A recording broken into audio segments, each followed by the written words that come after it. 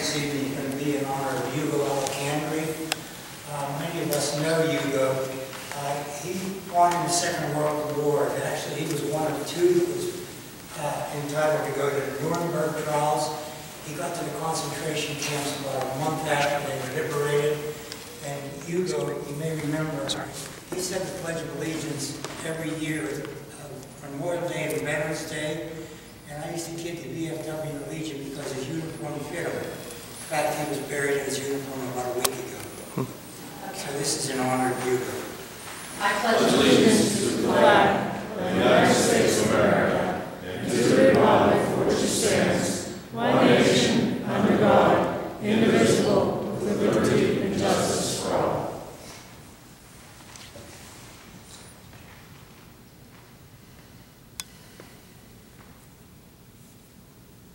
Thank you. Please be seated.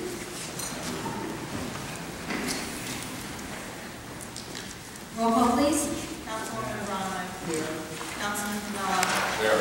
Councilwoman Kerr. Here. Councilwoman Hathaway. Councilman Tomlin. Here. Councilman Scisciani. Here. Councilwoman Viscusi. Here. Councilman Viscusi. Here. President Woshner. Here.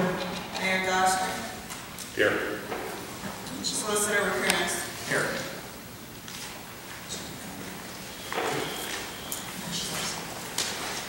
Are there any visitors who wish to speak? If you could step up to the podium, state your name and address, and write your name and address on the register. You have five minutes now, and then you will have an additional two minutes at the end of the meeting.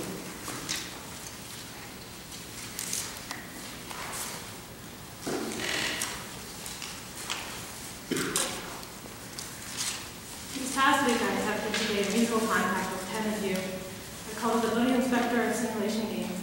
Under the current language of the International Code, if I had been an actual voting inspector, six of you might have been arrested, jailed, or given fines for failing to comply. I was just informed that the interpretation might be a little bit severe, but I'm still encouraging you to amend this to make it something in black and white that's reasonable for everyone to see. Citizens of Bellevue have a specific penalty if we fail to comply. It's a civil matter, it's a building code inspection, but we could be jailed. I think that shouldn't we keep it in civil court and maybe make it fines instead of jailing? Um, why is this maintenance and upkeep of a private citizen's home a criminal matter? Um, Would it be better to address it in civil court of law? And um, why is there not a specific reasonable entry procedure described for the building inspector in the international codes? So it's just me that if any amendments are made, you have to have the international board come in and make those improvements for the fire code and for your property maintenance codes, and it might be an extra hassle. Um, I think these ordinances are still a clear violation of our rights in Article 4 of the Bill of Rights. Article 4 says, "The right of the people to be secure in their persons, houses, vehicles, and effects against unreasonable searches and seizures shall not be violated, and no board shall issue, but upon probable cause, supported by oath or affirmation, and particularly describing the place to be searched and the persons of whom to be seized." I believe this is under criminal law, and I don't see how property maintenance comes under criminal law. But I would still encourage you to add uh, civil warrant inspection to if you're going to jail us for not complying with. And it was explained to me just now that an appointment is being made, and he is being reasonable, but you have a black and white code without specific guidelines for residents to follow. Because it says in the codes, if we're ignorant of the law, we're still liable. But how could we be held responsible for something that's not clearly written out in black and white? I would encourage you to table the matter, amend it to be something more specific Bellevue residents residents and citizens. Thank you for your time.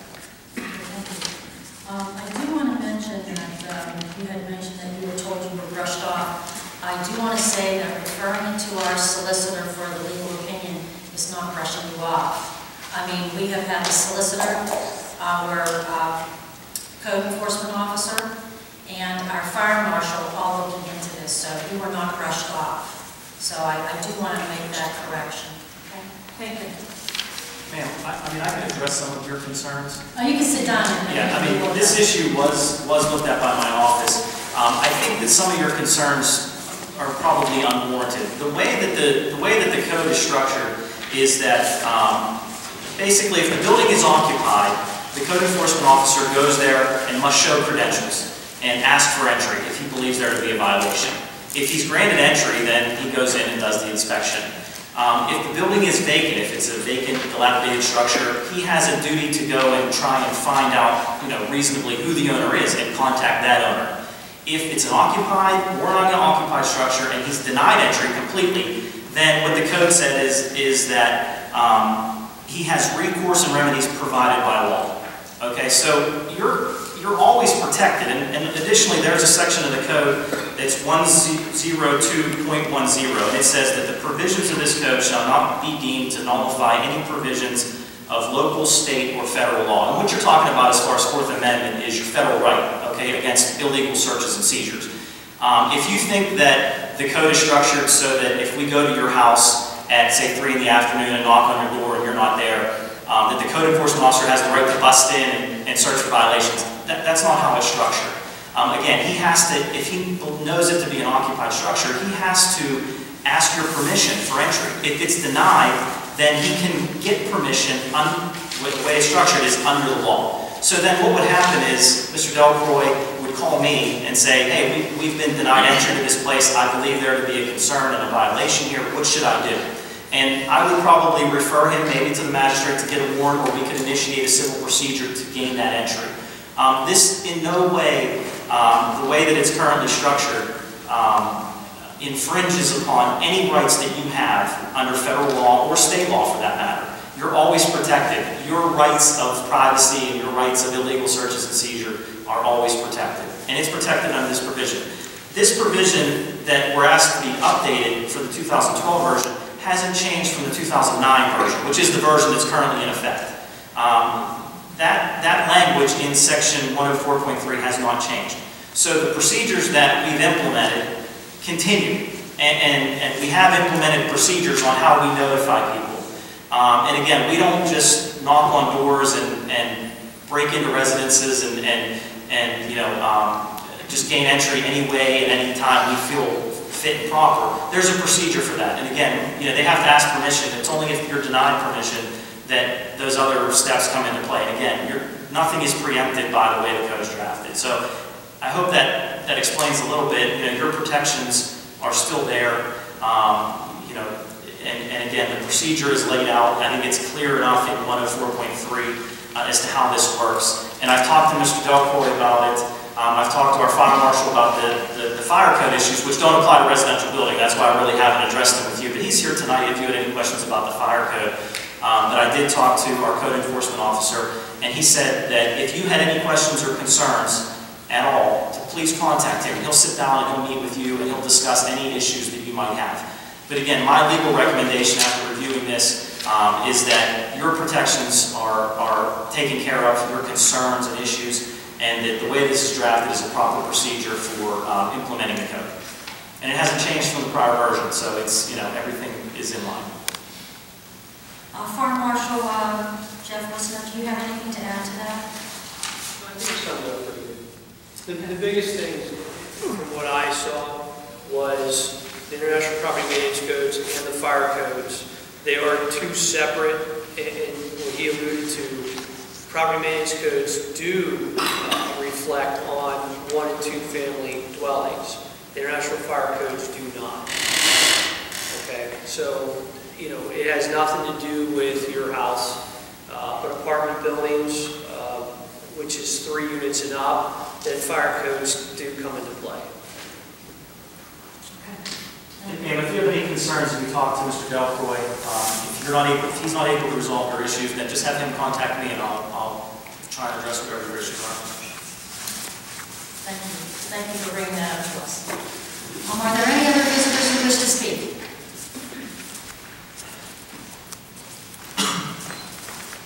Hi, my name is Sarah Perry. Um, I'm from Columbia Gas of Pennsylvania, and I'm here to talk to you tonight and just inform the borough management and leadership of an infrastructure project that's going to be happening in Bellevue. Um, Columbia Gas of Pennsylvania is your local natural gas distributor, we're your natural gas utility here in Bellevue. And across Pennsylvania, Columbia Gas of Pennsylvania has 7,400 miles of pipe underground.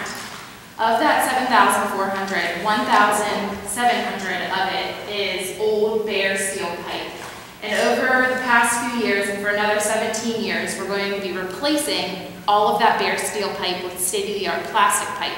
And the Bellevue community is one of those communities that's going to be benefiting from those pipeline replacement projects. Um, starting at the beginning of June, we will be replacing 5,800 feet of existing steel pipe in Bellevue with state-of-the-art plastic pipe. Um, there will be 200 customers who will actually have the entire replacement done, which is the pipe in the road as well as their customer service line. Um, and those streets are Union Avenue, Means Avenue, North Avenue, Gla- Glasser? Gloucester. Gloucester Avenue, Thomas Avenue, Jackson Street, Woods Avenue, um, is it Tingley? Tingley Avenue, Alley F, and Forest Avenue. And approximately 200 customers on those streets have already received, received a postcard, and they received a postcard two weeks ago letting them know of the project taking place. And customer letters were sent out today, again additionally informing them of the project. Um, Additionally, we have already replaced the pipe on Maryland Avenue, Summit Avenue, and Highland Place, but there will also be minimal construction on those streets as well. Um, nothing where we're actually digging into the ground. That is just, we're just up, making some upgrades to a modern natural gas delivery system on those streets. Um, I have gotten some calls from customers on those streets because they also received a postcard two weeks ago concerned that we were going to be replacing their new pipe that we just replaced two years ago on those streets. And I let them know that we're not, it's just minimal construction on Maryland, Summit, and Highland. Um, Additionally, in, in addition to the postcard they received, they've already received, um, and in addition to the customer letter, which was sent out today, we'll also be doing a press release um, to let the media know and the community know. Um, and basically, the packet of information has some basic facts about the project for you all to be aware. Um, but Columbia Gas of Pennsylvania, we strive to take care of our customers um, every day of the year, not just when infrastructure projects are happening in their community. So in the packet that I provided you with, um, there's also our customer proj- uh, programs brochure. And this is, I also encourage the, um, also the audience is that if you know anyone who's having a hard time paying their gas bill, or you sus- suspect that they might have a hard time paying their gas bill, we have a number of programs that will help um, those who need help paying their bills. And we want to make sure that this information is available to the customers. Um, you can go on our website and search customer programs, or the information is in this, this brochure. So I wanted to leave that with you all. Does anyone have any questions about the infrastructure project that will be taking place? How is it going to affect the roads? Are we going to have to do road uh, openings? Um, yes, we will, and there'll be temporary, um, road restrictions when, when the work will be taking place, only during working hours. And we do provide flaggers, is that correct, Dustin? Dustin is our, um, lead engineer on this project, so there'll be flaggers where there is. Uh, We just paved parts of Maryland Avenue. Um, in Mar, on Maryland Avenue, that's, that, we will not be digging into the street. there'll On- no- We'll be digging, okay. No, on Maryland, um, Summit and Highland, there will be no digging into the streets or anything like that. And we do strive to work with the boroughs, um, and Dustin's been working with their engineer, um, and zone enforcement Yeah, as the, yeah, the zoning officer, Terry, Yeah, to make the sure road foreman. that we do do the projects in the most efficient manner, because obviously you don't want to go in and tear Okay, so, yeah, that's my concern. And what roads will have street openings? road Um, openings? It'll be Union Avenue, Means Avenue, North Avenue, Placer Avenue, Thomas Avenue, Jackson Street, Woods Avenue, Tingley Avenue, um, Alley F, and Forest Avenue. Okay. Jay, are any of these to be resurfaced this year? Well, no, we have to put it outside on North Avenue because we were expecting, um, gas to come in, and so we didn't pull it out and and the good thing about these projects too is that we, our policy at Gas Pennsylvania is to do full restoration work. So what is gonna result in this is after we do have to dig into this street and we will be restoring the street to the exact same or better, which usually means for the community, the full paving. You know, that'll be the case for this project, the full paving of the street from curb to curb as well as new sidewalks.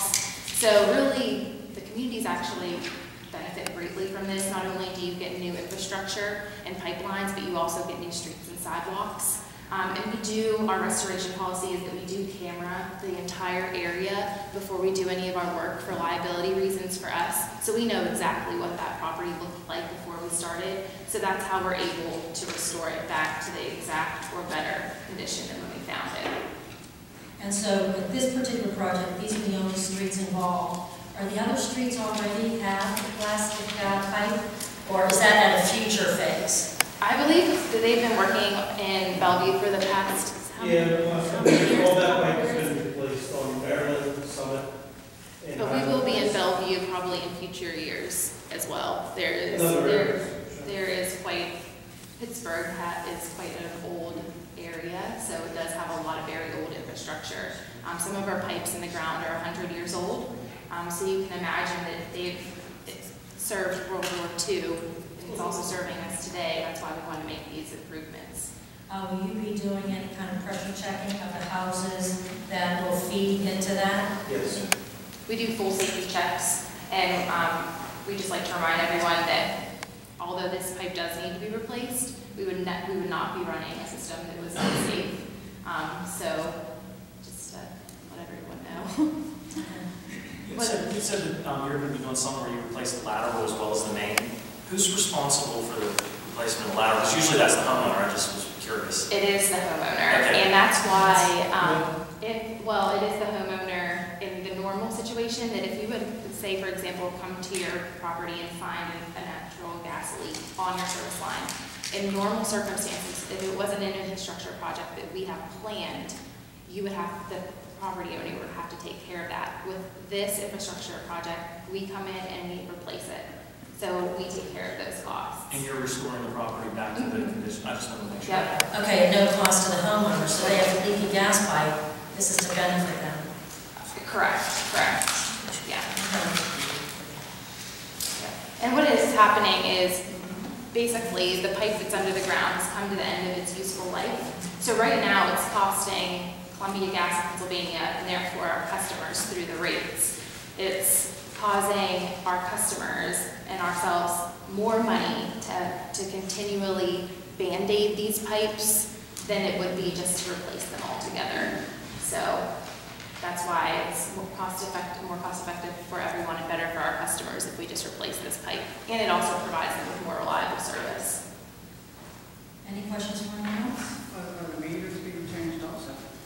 Um, I believe so. Yeah, what, Yeah. As a part of the process, if the meters are currently inside the homes or buildings, they move to the outside. And And that, that comes, that work is also done at the cost of the customer. yeah, we'll also take care of that. And, um, we like to work with the customers and they can help us choose, you know, where outside of their home. Just to, as much degree as possible, they get to choose, you know, where outside of their home the meter is gonna be placed, as long as it's safe. Okay, they have one more street here, it says Jackson Street, are you talking is it Jackson Avenue, north and south, or just Just north Jackson, north Jackson? between uh, Means and North Avenue, just that piece of North Jackson. So if you get at the end of Means away from Union Avenue, from there up to North Avenue, that's just that stretch of Jackson. And I did want to encourage everyone as well, my contact information is on the second page of this fact sheet. Please, if you do have any further questions, please email me, please call me. If you hear that there's any um, constituents in Bellevue or any of your neighbors who have questions, please give me a call. I'm, I'm happy to answer any questions anyone has. Any questions from anyone else? Hey, thank you for updating us, I appreciate it. You're welcome. Thank you. Are there any visitors who wish to speak? If you could step up to the podium. Okay, no visitors.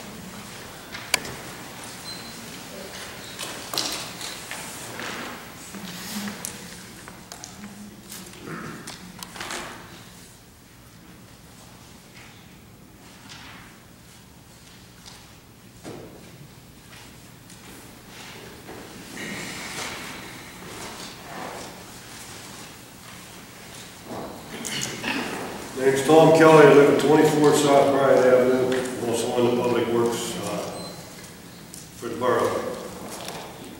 First thing I'd like to address is uh, the entrance to Bellevue from the high level bridge uh, on 65. We've been sent down to clean up a lot of debris down on Brighton Road last year. This section of the boulevard is, it's a joke. If you, if you take the boulevard in and get off the north shore by the casino, you see nice maintained grass. Then you turn around and come back out the boulevard, you go through the city of Pittsburgh, you see concrete walls deteriorating all along 65, you see trees, it's a jungle, it's a joke. Then you cross the bridge into Bellevue, and we have the same thing. This is the first thing out of the city of Pittsburgh. I wish someone on this committee would tell the Department of Public Works to get down, clean the place up, rototill it, plant some grass up to the street, up to uh, the street that's up on top there. It would be easy to maintain instead of weed whacking it. You cut the grass, you have a beautiful green grass, first thing people see in Bellevue. Second thing I'd like to uh, question, uh, I was doing a job with me and my, Mike Barr, and the resident, uh, I, I heard a resident wrote a letter com- complimenting us on what we did, and I just wondered if the red, red- letter was ever read, and if it was read, who was it read to? Because I was never notified, my boss was never notified about this letter, and if it was a bad letter, would have been notified. Would have been notified you did something wrong and so forth. So I'm just curious if this happened because uh, I was told that the lady did write a letter on this, and not to pat us on the back, just like know what happened.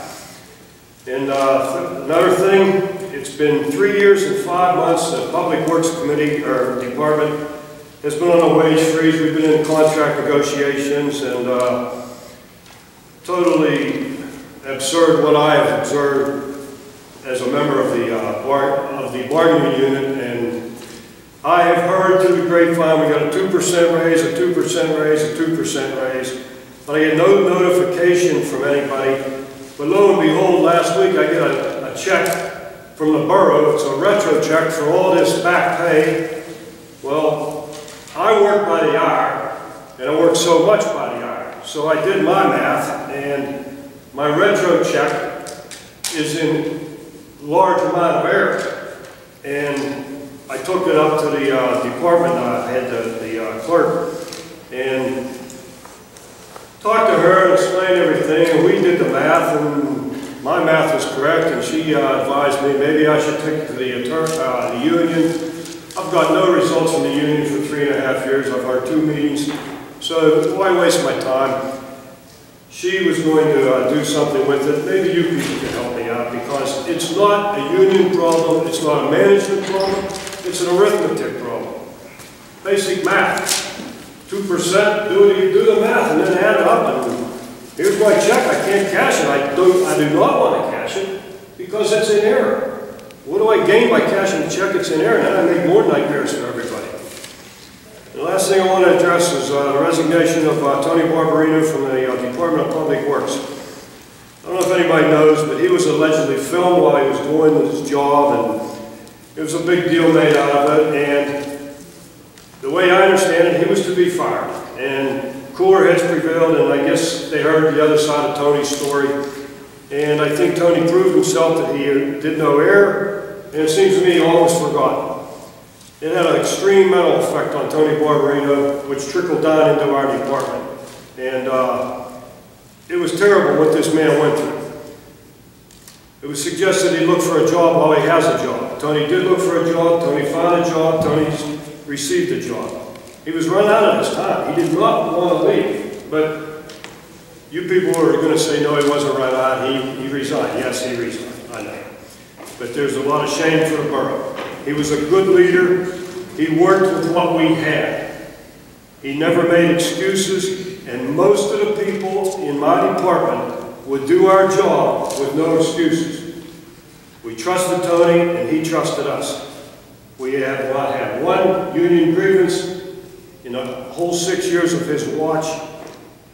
That's a tribute to management and labor working together. And his loss is somebody else's gain.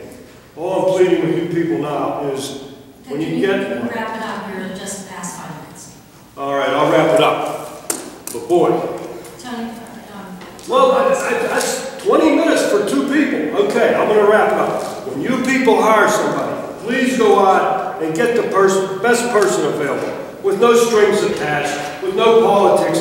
Get the best person available, so our department can continue to progress. That's it, my time's up. Thank you. Uh, First of all, concerning Tony, that's a personnel issue, and that's not something that we can address at this point.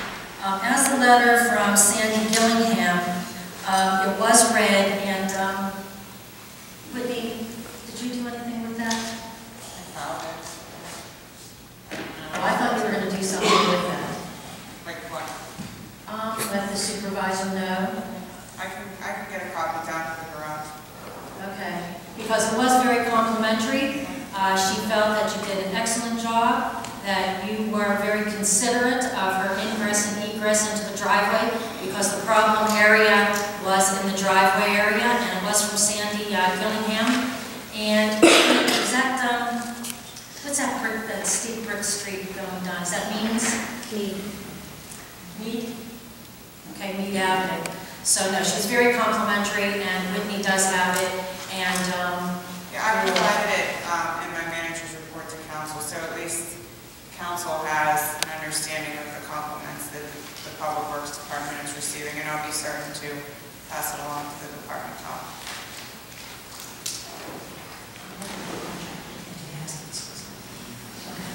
Um, and as concerning your uh, retro check, that's something that you have to talk with your union rep about. Because there was an agreement as to the amount that would be paid in retro pay, and your union representatives did agree to that. So you will need to discuss that with them. I'm asking you people to help me. I'm also talking to the barn door. Sir, they can't, With they the help I'm can't, getting they from my can't, they can't by law. You're represented, you're, you have a union representative that speaks on your behalf under contract. They can't, it would be, it would be an unfair practice for them to do that. So you have to go through the proper chain. If you have an issue, you take it to them, and then they can take it to the borough and me. So that's really how it has to go. I'm not saying we won't address your issue or your concern, but you have to go to them first. It's just the way, you can't, they can't, you can't deal directly with council on this. Well, how do they get a retro check if I, if, uh, me as a member didn't agree to anything? We weren't even notified of anything,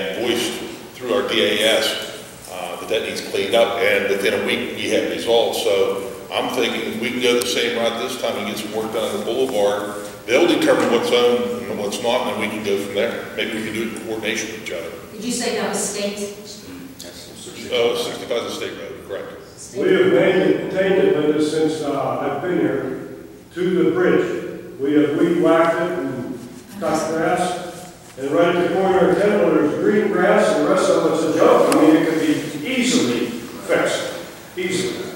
I believe the state has ten feet on either side of sixty-five. Well, at this point, though, DPW has been maintaining that. You've been cutting grass in that area, haven't you? We cut the grass where all the political signs are, from, from up top, Right, yeah. from Ariel Wall east towards Pittsburgh. We maintain it with weed whackers, and it's, it's, it's a joke. It it could be maintained grass all the way through. It wouldn't be that hard to do, plant grass and maybe a little bit of topsoil or fill, and you could do it in-house. And then you can maintain by cutting the grass, and people move their garbage over the hill, and you have a nice entrance of Bellevue.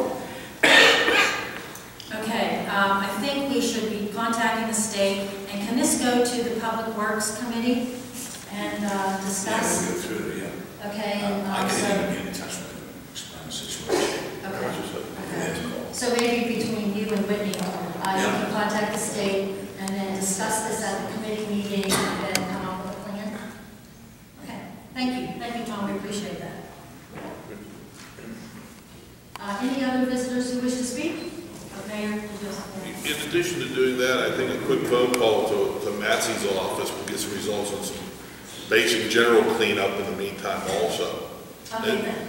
Instead of getting, and I understand things have to go to the committee, but instead of being any more laborious than necessary. Okay, thank you. Any other visitors who wish to speak? Thank you for coming, and um, before we start, um, we are going to be, at the end of the meeting, we're going to have an executive session for personnel issues. Okay, do we have a motion to approve the minutes? Like to make a motion to approve the minutes? A motion has been made and seconded to approve the minutes for April 9th, 2013 council meeting, April 23rd, 2013 public safety committee meeting, April 23rd, 2013 finance committee meeting, April 23rd, 2013 parks and recreation committee meeting, April 23rd, 2013 DPW committee meeting, May uh, 7th, 2013 pre-council meeting. Discussion on the motion? No discussion, all those in favor say aye. Aye. Nays? Okay, there were no nays. Do we have a motion to approve the payment of the bill list and amendment? I'd Like to make a motion to pay the bills? Okay, a motion has been made and seconded to approve- to approve the payment of May bill list and addendum. Discussion on the motion? Okay, all those in favor say aye. Aye. Nays? Roll call, please. Councilwoman Graham. Councilman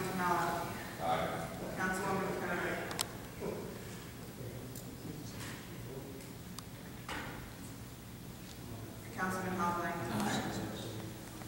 Councilman Scisciani. Councilwoman Viscusi.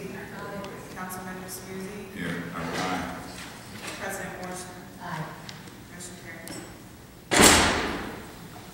Okay, uh, reports, uh, treasurer?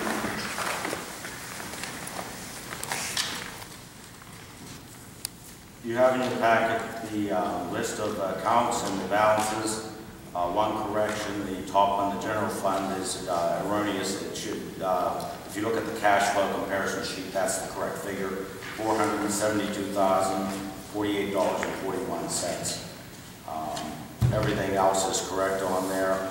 Um, We're in good shape at this point in time, as we usually are, because the money is flowing in for tax, uh, real estate tax. So um, at this time, we're, we're in good shape. Uh, We still have to watch the budget.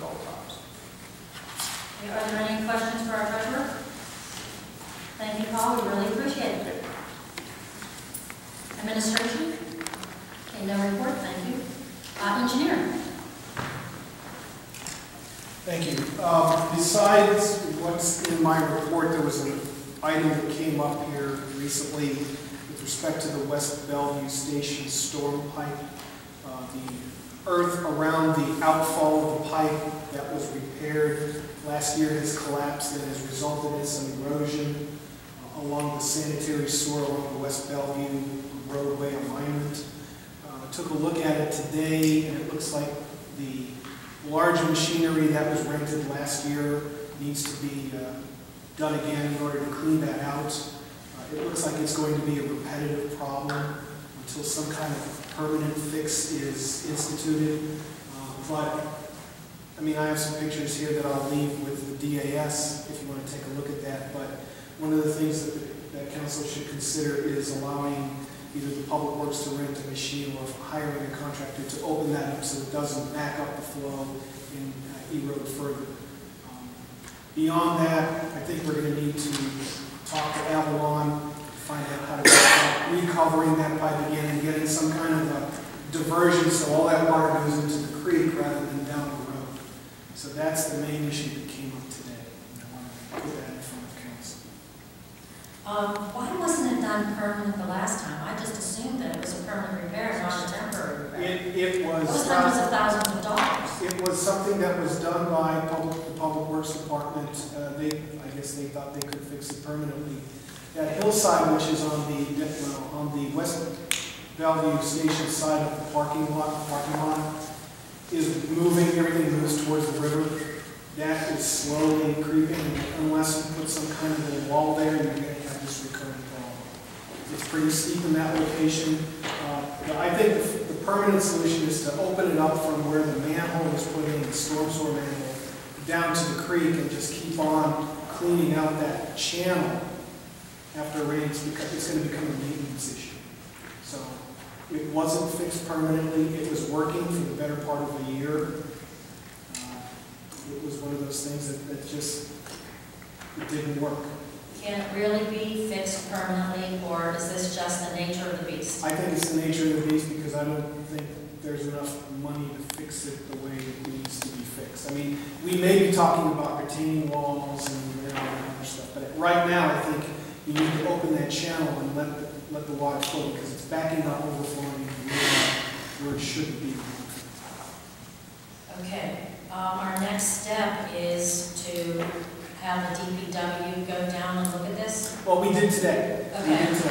Uh, I think the next step is to find out, you know, the rental of the equipment, if the DPW, uh, I think it's Joe, whether he can, I think he did it last time he operated that machine, how long it would take to open that up and then get the water flowing, and then come back and take a look at a more permanent solution to that issue with Avalon, because it's a joint, I mean, that, that pipe is a joint venture.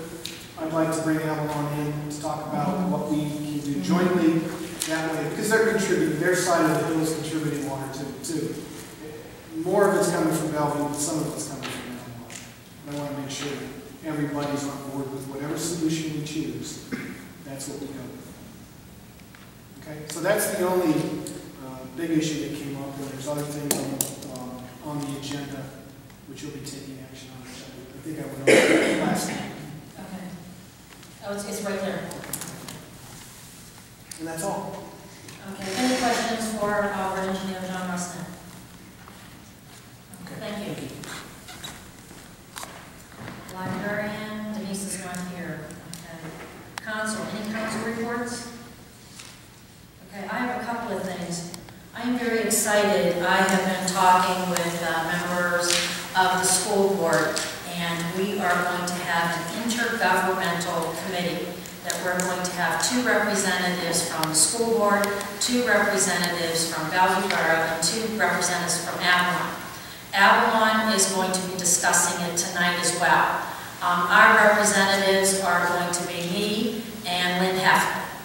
So we are going to meet in the very near future, and then our next meeting after that will be in uh, August. So I think this is um, really positive, and I'm I'm very happy that uh, we could work this out.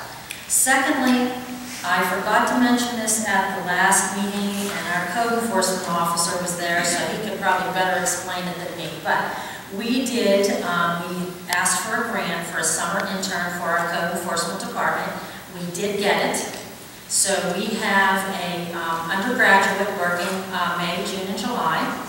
And uh, what she will be doing, she'll be working with our code enforcement uh, department. She is going to be going street by street, and house by house, and logging on a spreadsheet on the uh, problem properties and uh, the vacant properties so that we can better um, track the- these particular properties. So, um, Whitney, did I, is there anything else I didn't? No, she's already started.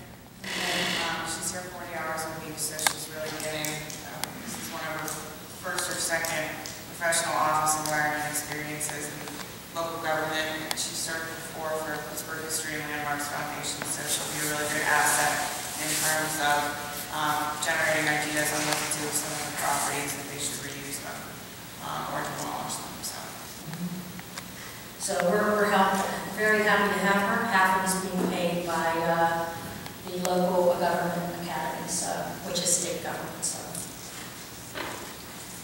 Okay, Committee chair reports. Finance, our chair of finance is Susan Viscusi. Excuse me. Beth, Oh, I'm sorry. mayor's report. Oh, I'm sorry, it's not on so- Total collections was twenty-two thousand, four hundred eight dollars, ninety-seven cents, as in the packets are broken down according to police department revenues and uh, meter collection. That's all I have. Thank you. I'm sorry, it wasn't on here, so I. Okay, committee chair reports, finance, our chair, I'll see Ms. Goosey. Uh, first one is I move to recommend payment to the Quaker Valley Council of Governments for Business District Streetscape Design Project and the amount of $8,021 for CD 37-2.2.5 do we have a second? Okay, a motion has been made to recommend payment to the Quaker Valley Council of Governments for the Business District Streetscape Design Project in the amount of eight thousand twenty-one dollars. And it- it- we've had a motion and it's been seconded. Um, discussion on the motion? No discussion? All those in favor say aye. Aye. Nays? Roll call, please. Councilman Camello. Councilman Conley. Aye. Councilman Scisciani. Aye. Councilwoman Viscusi. Aye. Councilman Viscusi. Aye. Councilwoman Braunlich. Aye. President Woshner. Aye. Motion carries. Next motion, please. I move to approve change order number one to civil and environmental consultants for the Business District Streetscape Design Project in the amount of nine hundred and seventy-five dollars for CD thirty-seven two point two point five. Do we have a second? Second. A motion has been made and seconded to move to approve change order number one to civil environmental consultants for the Business District Streetscape Design Project in the amount of nine hundred and seventy-five dollars for CD 37 two point two point five. Discussion on the motion? All those in favor, say aye. Aye. Nays? Roll call, please. Councilman Conley. Aye. Councilman Scisciani. Aye. Councilwoman Viscusi. Aye. Councilman Viscusi. Aye. Councilwoman Braunlich. Aye. Councilman Camello. Aye. President Woshner. Aye. Motion carries. Any other questions for our chair or our comments? Okay, thank you. Thank you, Sue. Parks and Recreation, um, Jim Sisian. Have Jane read the motion, please. Uh, I move to approve the installation of the water fountain at the library by George Fire Plumbing not to exceed $1,207 Budget line item four oh nine three seven three. Do we have a second? Second. A motion has been made and seconded to approve the installation of a water fountain at the library by George Bauer Plumbing at a cost not to exceed one thousand two hundred and seventy-five, seventy dollars from budget line item four oh nine three seven, three seven three. Discussion on the motion? All those in favor say aye. Aye. Nays? Roll call, please. Councilman Scisciani. I recuse myself, this vote, if someone wants to know what I'll be glad to tell. Councilwoman Viscusi. Aye. Councilman Viscusi. Aye. Councilmember Councilwoman Braunlich. Councilman Camello. Aye. Councilman Conley. Aye. President Woshner. Aye. Motion carries. Okay, I move to approve the replacement of the trees at Bayne Park. Okay. Next motion? I move to approve the replacement of trees at Bayne Park by Mary Mil- Miller at no cost to the borough. Second. Okay, a motion has been made and seconded to move to approve the replacement of trees at Bayne Avenue by Larry Miller at no cost to the borough. Discussion on the motion? Okay, it says trees, and I thought it was just a tree, a sapling, and then, okay, one tree, okay, so it's one tree. And me personally, I do not want to see a shallow rooted tree, because what happens is then it grows into the grass and it becomes a tripping hazard. So I'm not familiar with what trees are shallow and what are deep. So I would prefer that it's a deep rooted tree, that's just my thought on. Can we change the motion? Um, or does any, does anyone agree or disagree with me? Jane? I thought they were just replacing the exact same tree that was there. So it From my understanding, the last council meeting, we were just replacing the exact same tree that was there. Well, there was a, the location, the, the offer of the tree was a, uh, a maple, which I think that may have been, I'm not sure, or a red oak possibly. Either What was the second one? I believe it's a red oak, uh, I, I, uh, which I think we already have a couple of those in the park. It would be, coun- it would be, uh, the committee's or council's choice, whichever one you want. Does anybody know more about trees than I do? I mean, Well, well, the only reason roots of a tree come up that are tripping hazards when the, there's erosion around it. Roots go to the water, so they'll go down to the water table. It's from erosion around the roots that causes the roots to be exposed. I don't know that much about trees, so. You, you asked me, but I I was just telling you. I, I, I, just would like it to, that I would want a deep rooted tree and not a shallow rooted tree. That's just my thought. Any other discussion? Did he say when he was going to do this? Do we know when he's going to do it, Mayor? Do you know when? I guess whatever you tell him, it's okay or not. Maybe you can come to our next parks meeting and just enlighten us and we can enlighten council. I think he offers a good offer myself. Is what? It's a good offer, right? If he would just come and enlighten us what kind of tree it is. Uh, I just told you what kind of tree it was. It's either a maple or a red oak, whatever your choice is.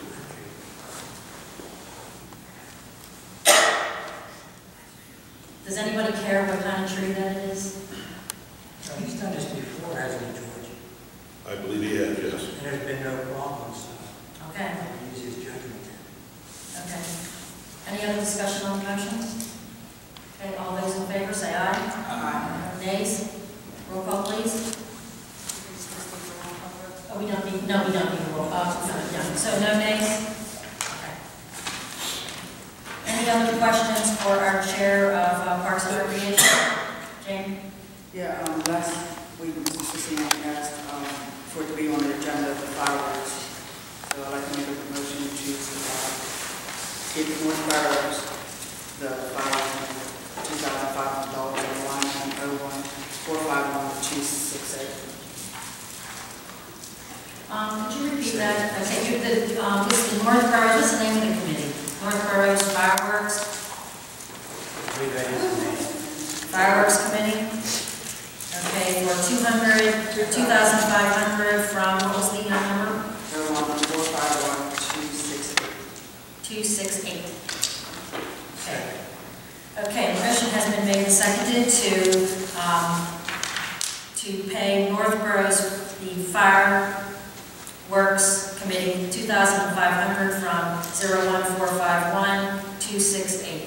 Discussion on the motion? No discussion? All those in favor say aye. Aye. Nays? Roll call, please. Councilwoman Viscusi. Aye. Councilman Viscusi. Councilwoman Braunlich. Aye. Councilman Camello. Councilman Hopland. Aye. Councilman Scisciani. Aye. President Motion. Aye. Motion carries. Any other questions for the Chair of Parks and Recreation? Okay, thank you, Jim. And Jim. Public Works Chair, Jim Viscusi. Okay, I move to approve base bid and alternate one and alternate two to Victor Paving and Construction in the amount of one hundred thirteen thousand, three hundred and twelve dollars and ninety-five cents for the two thousand thirteen road paving program. Second. Okay, a motion has been made and seconded to approve the base bid and alternate one and alternate two to Victor Paving and Construction the amount of $113,312.95 for the 2013 road paving program. Discussion on the motion? So, what does, what does this consist of? How many, um, what streets were there? I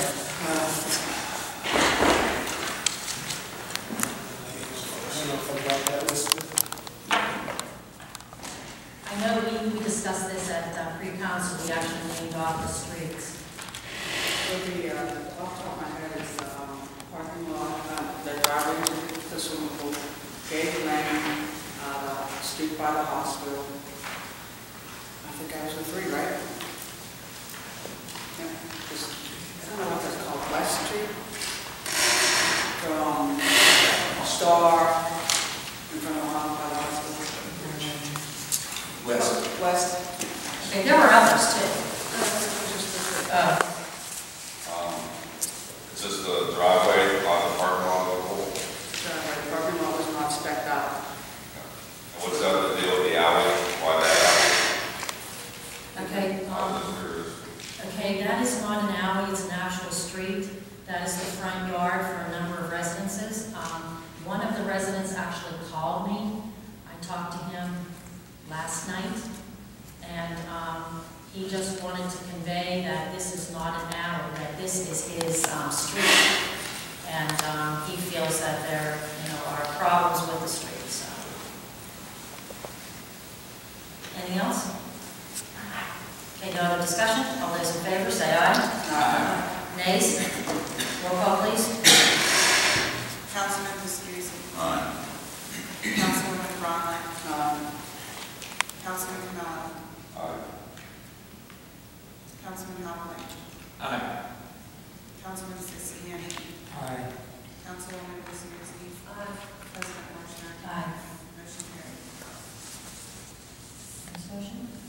I move to accept the bid withdrawal from Layne Inliner Incorporated for the 2013 sanitary sewer repair program. second. A motion has been made and seconded to accept bid withdrawal from Layne Inline Incorporated for the 2013 sanitary sewer repair program. Discussion on the motion? Okay, no discussion. All those in favor, say aye. Aye. Nays? Do we need to, do a roll call now. Solicitor, do we need to do a roll call on this one? It's on the withdrawal. No, no. Okay, thank you. Next. I move to approve the bid from Independent Enterprise Incorporated in the amount of $230,105 for the 2013 sanitary sewer repair program. Do we have a second? If there's no second, I second. Oh, did you? Oh, I okay, I hear you. Okay, a motion has been made and seconded to move to approve the bid for Independent Enterprise Incorporated, in the amount of $230,105 for the 2013 sanitary repair program. Discussion on the motion? Okay, all those in favor, say aye. Aye. Nays? Roll call, please. Councilman Bromley. Uh, Councilman Canal. Aye. Councilman Hopland. Aye. Councilman Scisciani. Aye. Councilwoman Viscusi. Councilman Viscusi. Aye. President Motion. Aye. Motion carries. Next motion? Okay, I move to approve the purchase of a lawn tractor, bagger, and snow blade from Critchlow Enterprises at a cost not to exceed $5,869.60 from budget line item 430470. Second. A motion has been made and seconded to move to approve the purchase of a lawn tractor bagger and snow blade from Critchlow Enterprise at a cost not to exceed five thousand eight hundred sixty-nine dollars and sixty cents from budget line item four hundred thirty point four seven zero. Discussion on the motion? No discussion? All those in favor say aye. Aye. Nays? Roll call, please. Councilman Canal. Aye. Councilman Hopland. Aye. Councilman Scisciani. Aye. Councilman, Councilwoman Viscusi. Councilman Viscusi. Aye. Councilwoman Bromley. Uh, President Motion. Aye. Motion carries.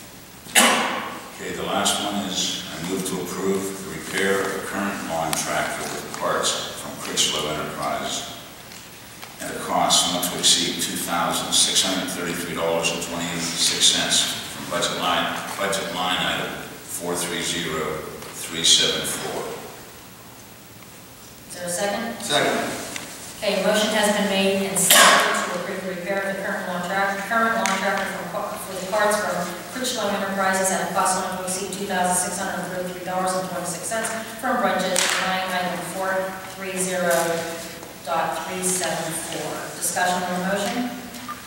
Jim Sisnery? Yes, um, this tractor is what, 17 or 18 years old already? 17. Uh, if you're worried about you can get a new tractor for $3,200. If you're going to put uh, this much money, this is going into the engine on this tractor? Motor. In your motor, yeah. Oh, there's the transmission. No, the transmission. Oh, that was the other one? Um, if you're put this much money into an engine for a tractor like this, this old, and you know other parts are going to start going, I consider a new tractor, I think you're new one $3,200 um, Why was the decision to fix this one as opposed to replace it? Marty?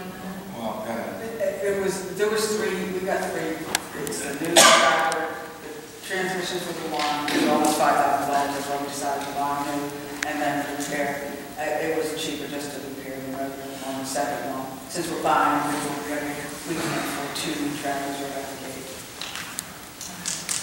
out the gate. But this is so it's gonna start costing you money. The new tractor. They just had a breakdown on tractors, they just got the one running recently, wasn't it? Last few days? They've been waiting for parts to come in sometime in the last day or two. Maybe waiting on parts on this winter time. Now, new tractor take, would consider a new would probably take the place of almost two of them, the way the new one is. And this third one, we get the, uh, what, you were saying the transmission, the rear end transmission section, and that would be your, like a spare set, a second one, so you'd only have two of them. Because one would take care of two, and then you have the second one we could repair. Well, you're, you're end up somehow with two tractors. Two tractors, but it would The be, one that's so old, it should be in the museum, and you have a new tractor. I think you're going to put that new tractor on a trailer all in the back and forth because the other one broke down. I would consider a new one myself. I would ask council to send it back to the committee to look at it. Uh, Jim? Yeah, when we were uh, discussing this tractor, uh, public works, uh, with the, uh, informed us that this, the new tractor is really high, it's, it's, what's it called? A Zero. Zero. A zero turn, so it's, it, it moves a lot faster than vehicle tractors do, and it does a lot more, we're getting a lot more stuff, but to replace two brand new tractors at this point, I don't practice. The one new one and then replace another one second. And when you get this tractor becomes out of the months to come, you're going to be out twenty-six hundred dollars. I, I know that's a good point. I, I'm, I confess, I can't remember something. Weren't, aren't they different size tractors or something different? In other words, this one doesn't necessarily match up to being the same price as the other one if we were buying it. I thought they were different. They are. I wish Kelly was over here. You're right. The, the, the replacement tractor for this one would be less than the other tractor. I thought it would be more. That's what, I- that's, that's part of the reason I thought we voted this way. But I, I can't confirm that. I apologize, but We had gotten three bids and had three council and a public works, this is what we had decided to do, because it was feasible to do it this way. No, I understand that. I, I, I was there and I agree. I just, his question is valid. But I think there was more than just replacing that. It was a different size or bigger than the tractor we're getting for the smaller price that you're talking about. And it was Tony's recommendation too, based on all his knowledge on the equipment. But, um, that's all I know. Jim? yeah, I don't think the size just mentioned, but he did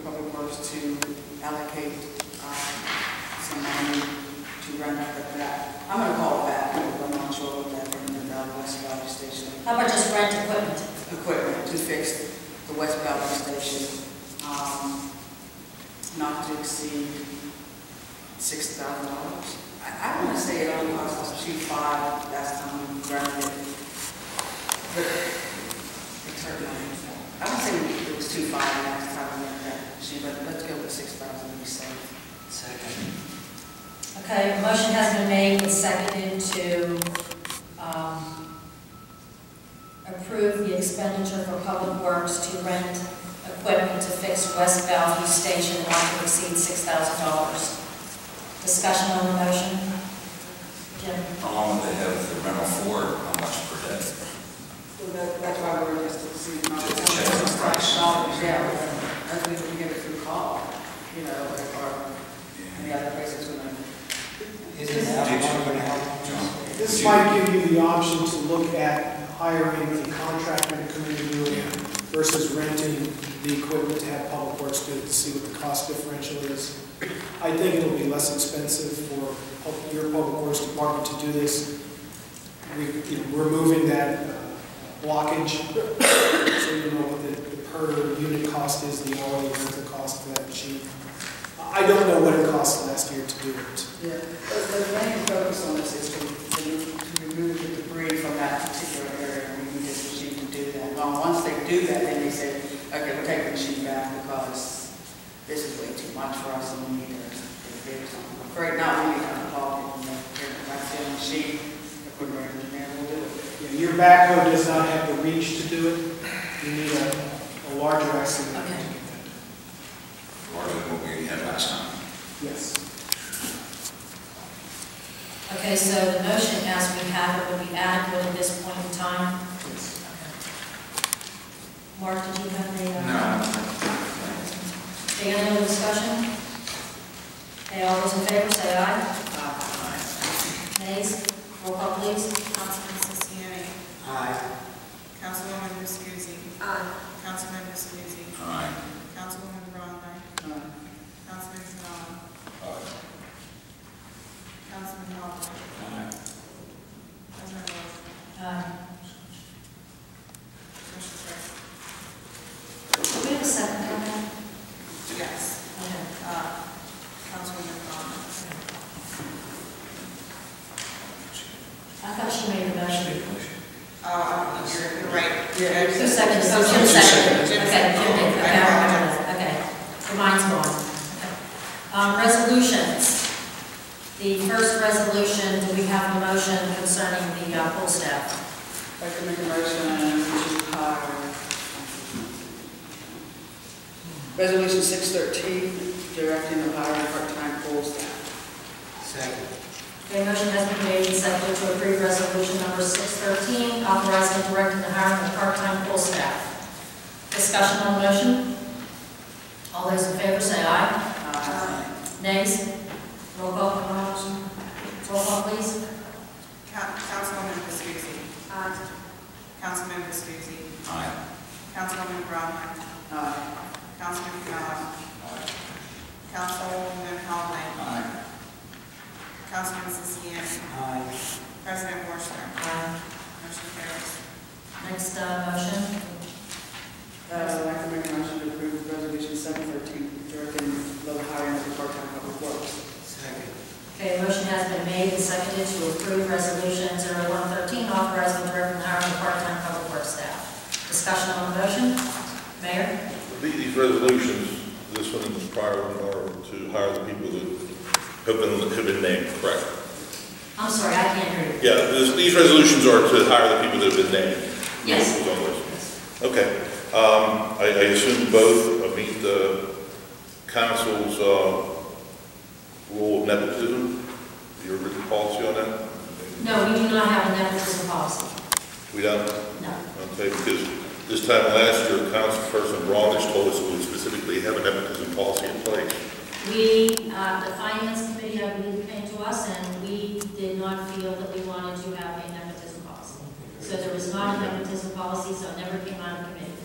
I'm a little disappointed in that because after last year, Councilman, Councilperson Raunish admitted that it was a personal thing uh, against my son, that I suggested we do a nepotism policy to eliminate that kind of personal issues. But if it, if it was, if it was back to me, that's fine. We appreciate the suggestion, but it never came out. Oh, of no, no, it wasn't a suggestion, it was a question. Okay, well, it never came out of committee, so we do not have. it. Any other discussion on the motion? Uh, Did we? No, we're still. Okay. Other discussion? Okay, all those in favor, say aye. Aye. Nays? Roll call, please. Councilman Viscusi. Aye. Councilwoman Bryan. Uh, Aye. Councilman Camello. Councilman Conley. Aye. Councilman Scisciani. Aye. Councilwoman Viscusi. President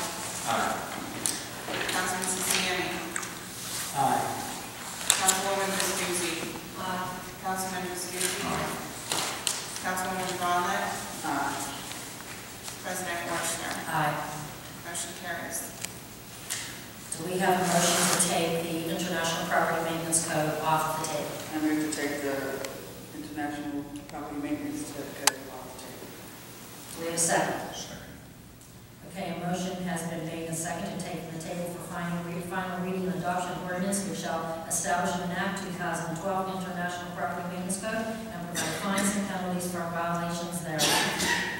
Okay, do we have a motion to adopt? I'd like to make a motion to adopt the property maintenance code. Okay, a motion has been, do we have a second? Okay, a motion has been made and seconded to adopt an ordinance which shall establish and enact 2012 International Property Maintenance Code and provide fines and penalties for violations thereof. Discussion on the motion? Mark? I just want to say, I'm sorry, Barb, I'm- that I'm okay with this because of what he said when I'm reading and what I've read before, we went over this before years ago, when we did this, um, about how it reverts back to local, state, and federal law and Fourth, Fourth Amendment right. So it's covered in there for what you're concerned about, for those words. So Okay. that's all. Okay, Any other discussion? All those in favor, say aye. Aye. Nays? Nay. Roll call, please. Councilman Hopper. Aye. Councilman Scisciani. Aye. Councilwoman Viscusi. Councilman Viscusi. Councilwoman Braunlich. Aye. Councilman Camello. Nay. President Woshner. Aye. Motion carries. Do we have a um, motion to take from the table the wage ordinance? What was that question? Okay, that was on to take from the table the wage ordinance. No motion? Okay. Next, uh, International Fire Code. I'm going to take the table to final, going to take the table uh, reading of the international law. We have a second. A motion has been made and seconded to take from the table for final reading and adoption of ordinance which shall establish and enact the 2012 International Fire Code and provide fines and penalties for violations thereof. Um, Do we have a motion to adopt the ordinance? I'd like to make a motion to adopt the international fire code. Second. Okay, a motion has been made and seconded to uh, adopt an ordinance which shall establish and enact the 2012 International Fire Code and provide fines and penalties for violations thereof. Discussion on the motion? Yeah, I got, what does this consist of? Or does it have to do with the grill and the fire pit thing, or is this something different? No, this is, this is again, this is the uh, International um, Fire Code, which deals with, um, doesn't deal with any uh, uh, residential buildings, no, no uh, single or double family residential buildings. So it's just updating the code we already use. We, we have a 09 version, this is just updating the 2012 version. Okay. Any other discussion? All those in favor say aye. Aye. Nays? Roll call, please. Councilman Scisciani. Aye. Councilwoman Viscusi. Aye. Councilman Viscusi. Aye. Councilwoman Braunlich. Aye. Councilman Camello. Aye. Councilman Hopper. Aye. President Woshner. Aye. Motion carries. Do we have a, um, but this is a second reading. I'd like to make a motion for the second parking, parking ordinance. It's reducing the fine from three hundred to twenty-five. Okay, so that has been.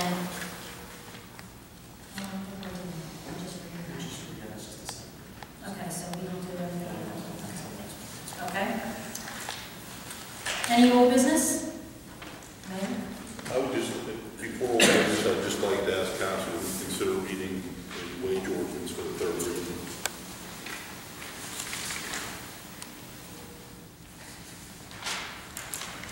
Okay, um, okay, um, any other old business?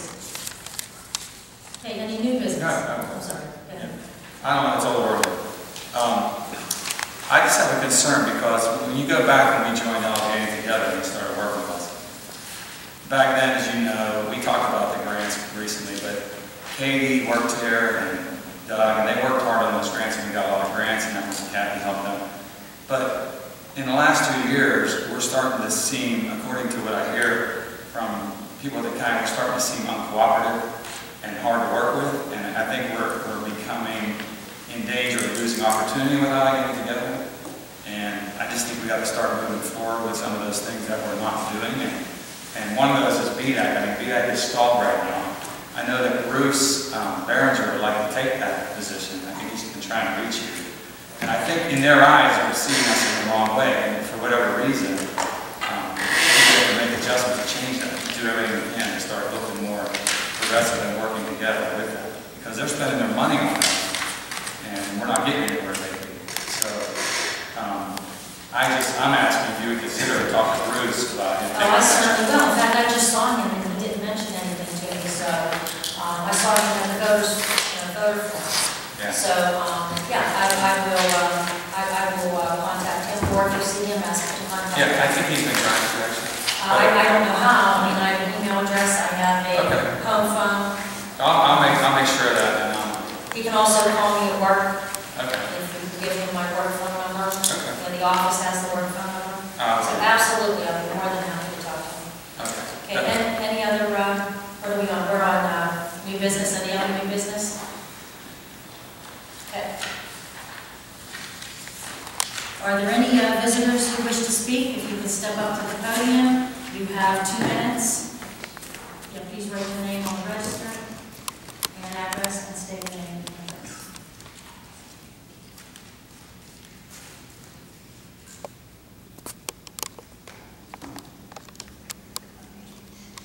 Hi, um, Amy Joy Robinson. Um, First of all, I'd just like to say that I think it's really great that you're working on this um, Avalon Bellevue School. Intergovernmental committee. Intergovernmental That- that- committee. The the name was picked by the school board, so. Well, yeah, and I know you were at the Canada Forum, and a lot of the candidates had brought it up, so I think it's really great that um, you guys are getting this going, and they talked about it at the school board meeting last night. Um, So I just wanted to say thank you, and then I also wanted to let you all know that the Northgate Cheerleading Boosters are having a car wash Saturday morning from 10 until 2 p.m. down at Eaton Park on Ohio River Boulevard. So if it's sunny, keep your fingers crossed. If you guys need a car wash, please come down. They're always a lot of fun. Thank you. Thank you, we appreciate that. Okay, Any other visitors who wish to speak?